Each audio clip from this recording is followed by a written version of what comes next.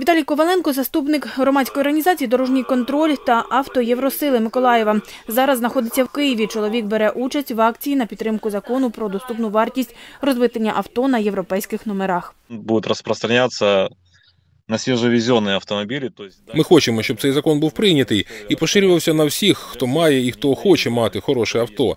Ми хочемо, щоб це коштувало не 10 тисяч, скажімо, а 5 тисяч доларів або й 2.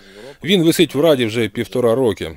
Зараз можуть карати штрафами від 8 до 170 тисяч гривень такі машини, і власники таких машин вважаються порушниками. З Миколаєва до Києва прибули 40 автівок та 70 власників таких машин. А це Максим Оленицький, власник автомобіля Volkswagen Caddy. Придбав його у Литві. З 2015 року авто знаходиться на європейській реєстрації. В Республике Литва один из э, самых э, В крупных Республіці Литва один з найбільших ринків уживаних автівок. Там хороші ціни. Вони відрізняються від, скажімо, німецьких цін. Але ця машина була з Кьольна. Мала невеликі пошкодження. Вона приїхала на автовозі. Я її побачив. Вона мені сподобалась. Оцінив її невеликі пошкодження та й купив. Обійшлася вона мені у близько трьох тисяч доларів. На той момент, 2015 року, така автівка коштувала в Україні від 9 до 10 тисяч доларів.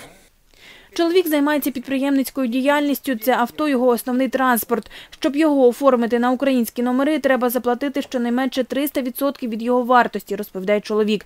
Те, що зараз такі авто ще й підпадають під великі штрафи, взагалі ставить під сумнів правильність вибору, додає Максим. Сейчас э, Буквально нещодавно виходить постанова Кабінету міністрів про те, що зараз поліція отримує повноваження зупиняти авто на єврономерах, перевіряти їх, виписувати постанови і штрафи сягають до 170 тисяч гривень. А зараз практично всі такі машини порушили митний контроль, бо з коронавірусною ситуацією неможливо вчасно перетнути кордон.